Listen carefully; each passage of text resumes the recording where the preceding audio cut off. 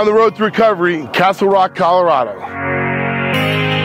Live from Millville, New Jersey, I'm on the road to recovery. We're on the road to recovery in Morgantown, West Virginia at Mountaineer Field. And live in Scranton, Pennsylvania, I'm on the road to recovery. Here I am on the road to recovery from Berlin, Maryland. Hey, from Caseville, Michigan, I'm on the road to recovery. On the road to recovery at Ann Arbor, University of Michigan.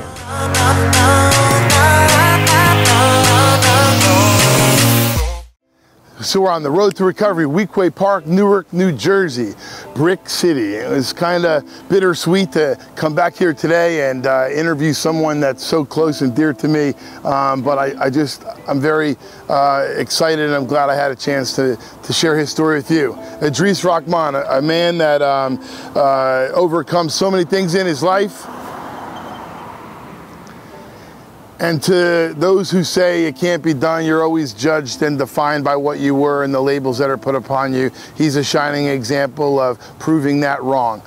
On the road to recovery from Newark, New Jersey with uh. How you doing? My name is Idris Rahman. And I want to start out by one, just talking about the origins and the beginning of usage for me. Um, was born and raised in the city of Newark, to a single parent household with uh, five other siblings. Came up during the 70s and I began using marijuana or smoking marijuana because I wanted to be accepted by a group that I identified as the cool group. So I started hanging with them and unfortunately, whatever behaviors that they were engaging in, I began to engage in them. And it started out with just marijuana. After marijuana, it um, you know, pills started, taking the pills and hanging out with the wrong crowd on a daily basis and became addicted to the pills. The pills that I'm talking about is uh, pills that was common in the city of Newark called Cebas and Codeines, or commonly referred to on the streets as hits. After the hits, um, I started messing with heroin. First time I tried heroin, I was in Rahway State Prison and someone came and gave me a bag. And I had been afraid of heroin, but it, when he handed it to me at that time, it seemed like it was the most natural thing to do, and I tried it.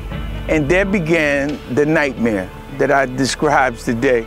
Um, I used on and off for better part of 25 years of my life, tried multiple different um, drugs, so when asked what is my drug of choice, I oftentimes say, I'm not sure. I think that anything that I've used um, would have been my choice for that moment. Um, so earlier I talked about the first time I tried heroin. I was in Rahway State Prison in Fort Wing on fire tier actually. I had been in prison at that point about seven to eight years and I was looking at another uh, four or five years ago before ultimately being released.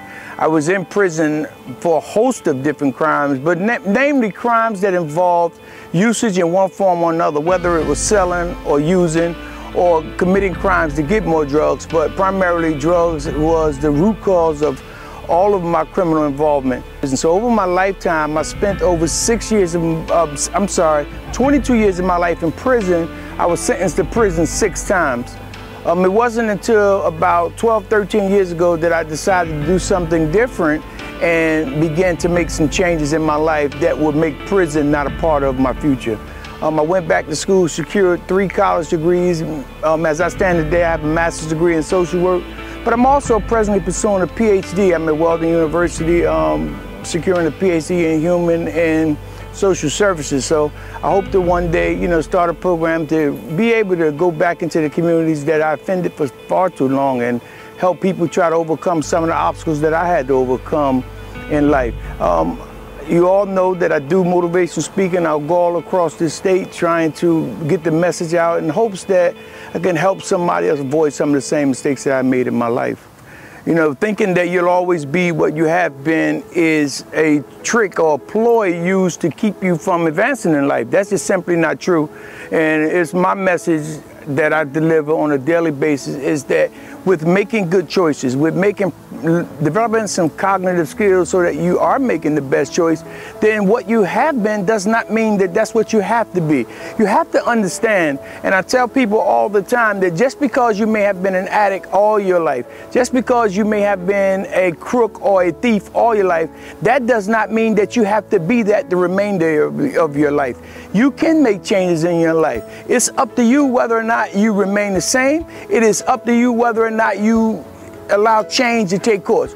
But all I know is that in order to give change a chance, you must start first with giving yourself a chance. Because if you don't give yourself a chance, then change has no chance. Stop believing what people may tell you because the reality of it is that whatever the remainder of your life look like is entirely up to you we must begin to do something different. And it has to start with us. We got to stop looking to the politicians. We got to stop looking to elected officials and say, this is the problem, now you fix it. And instead, we got to start fixing it. And it begins in our home. We can't just sit idly by and knowing the kids are smoking marijuana and be okay with that because you're telling yourself that it's just marijuana. Well, just marijuana leads to other drugs. And if you're okay with marijuana, trust me, there'll come a time when you're going to be forced to be okay okay with whatever else they're doing. Hey, uh, Rock, uh, thank you so much for sharing your story with us. I'm so grateful and appreciative of your time, your inspiration, and all that you do for the community and for people. Um, you inspire me. You inspire so many people. I hope he's inspired you. On the road to recovery from Newark, New Jersey, I'm Michael DeLeon, and we'll see you on the next episode.